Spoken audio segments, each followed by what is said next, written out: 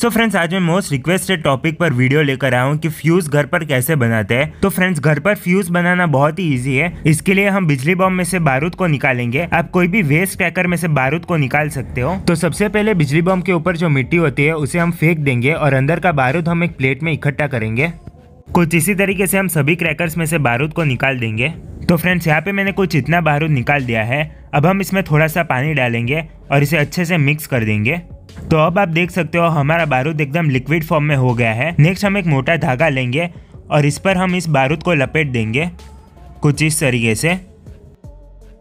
तो फ्रेंड्स आप देख सकते हो, कुछ ही मिनटों में धागे पर बारूद चिपक गया है। अब हम इसे धूप में सूखने के लिए छोड़ देंगे और कुछ इसी तरीके से हम बहुत सारे फ्यूज बना करके रेडी कर देंगे।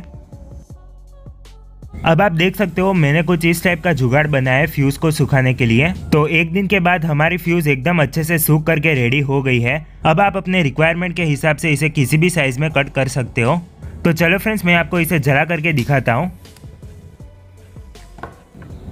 तो फ्रेंड्स देखा ना, ये एकदम मार्केट के फ्यूज की तरह वर्क हुआ।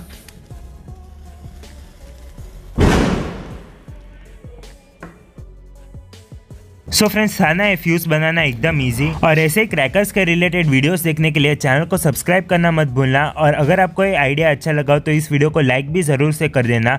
मिलते हैं आपको नेक्स्ट वीडियो में। Thanks for watching